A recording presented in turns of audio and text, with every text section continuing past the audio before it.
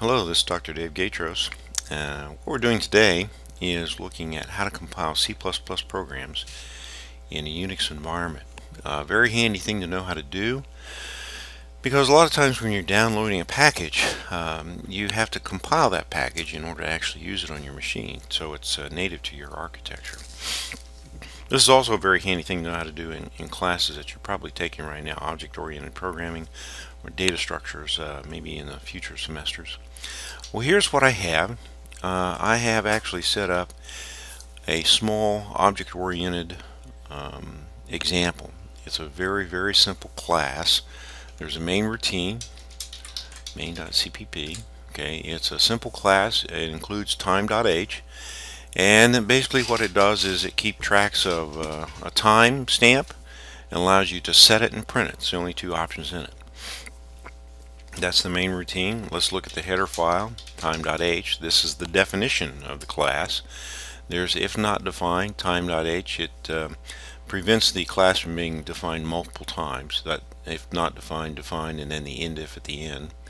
This tells what the public and private interface is. The public interface is I can call the constructor to create the object, set the time to print it, and then the private is keeping track of the hour, the minute, the second. And then the implementation.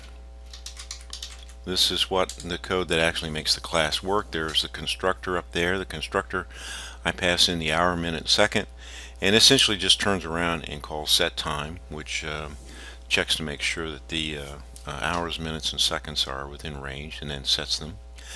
And then there's the print time which actually prints it out. And um, a very simple class and this class is all over the internet. You can find in several books. I just uh, wrote it from memory last night.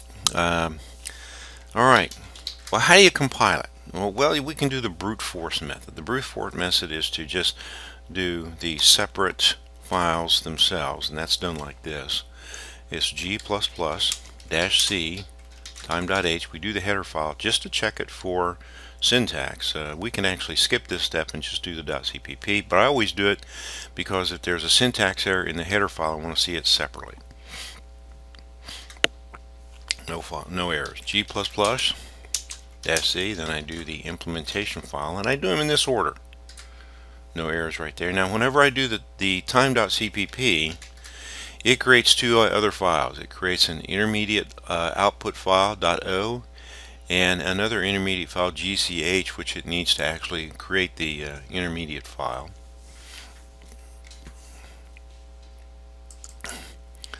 We're going to leave those alone just now.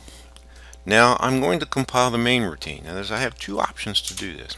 I'll show you one is uh, dash o main.cpp okay, and then time.o. This is uh, a compile and link together. Here what I'm doing is I'm compiling the uh, program. Let me go back and correct this.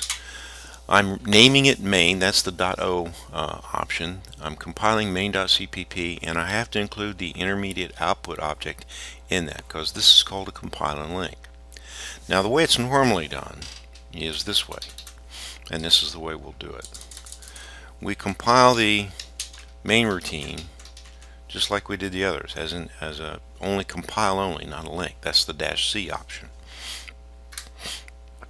We're checking it for errors. Now I want to put it all together. It's done like this. Dash or G plus plus dash O main and I have to include main.o and time.o the intermediate output objects that's going to uh, link them all together. Now I have the routine, I say main, and you see it prints out 1230 and 1030, which are the two times that I put in there. Worked quite nicely. Alright, that's option one, is to do them separately like that. The second way to do it is realizing that it's the same commands you're going to type over and over again. You're just going to put those in a script. So let me go to Emacs. This is a full screen editor. I've got my tunneler turned on. Compile.sh and put it in the background. Okay, so here it is. Here's my file. Simplest way, you notice I just put the uh, commands in there and while I'm at it I went down here and I removed the intermediate output files. I don't need them once I've compiled the program so I just get rid of them. Okay, the four lines of code, time.h, time.cpp, main, and then link them all together. Okay. Let me save that. It's already saved, there's no changes to it. Okay, clear. And I'll just say compile.sh. Boom, there it is. Now you notice it doesn't output any uh, uh, error message or anything like that, and if it would if it was um, uh, if there were errors in the code, but that's the simplest way to do it. That's not the way they're going to want you to do it in other uh, classes. They want you to use what's called a makefile. Now you're going to use the make utility. Okay. The make utility requires a file inside your directory called makefile, and the makefile can either be M-A-K-E-F-I-L-E, -E, upper or lowercase m. Ours are lowercase m. Let me look at the makefile and show you what it looks like. And for um, problems you're going to have where you've only got three files, a main routine and a class, this makefile will work quite nicely and you can copy it just by replacing the names of your files with the names that are in here. Your main routine, I call it main, you would replace that with yours and the class, this one's time, you replace every place where you have time with the name of your class and this should work quite nicely. I have a main routine. This main is the executable file. It's dependent upon two files, main.o and time.o. If either of those are out of date, it will execute this code right here. If main.o is out of date, which it sees by looking at main.cpp, it will compile, use this code. If either time.h or time.cpp have been changed, okay, it will compile this code and it does it in a tree fashion. So therefore if only the main routine had been changed it will not recompile time.h or time.cpp which makes it much much more efficient. Okay so let me uh, remove main main and uh, all the intermediate files are gone clear and all I gotta do is say make and boom it creates it okay? Make the make utility goes out finds the make file and executes the script run main and there's my time. So this is how you uh, compile uh, code in uh, C++ on a Unix machine. Very very handy to know how to do it. Uh, run this uh, video over a few times um, to uh, see how it's done. And let me put the make file make file up there again. This is the simplest form of the make file uh, that you can have uh, take this one down. Again you're going to want to change uh, if your main routine is labeled something else you're going to change every place that you have main. You're going to want to change that name to it.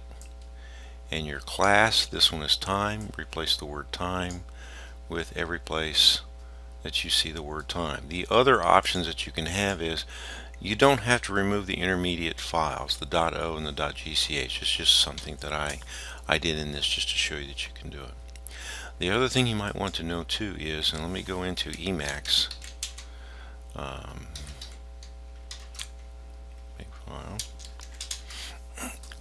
show you something. Okay. What you can't see is that right here in front of the uh, lines of code that actually execute, there's a tab character. So whenever I want to make sure that there's executable code, like say after this uh, this uh, main right here, I have to put a tab character in front of here to let the make utility know this is executable code. That's the only other key to it. So once you get your make utility run, make sure that these tab characters in here, and you just you just put a tab character right there. There's a tab character right here. That's the only other thing that you might run into trouble with. Hope this helps you. Good video. Uh, we'll save it. And uh, good luck.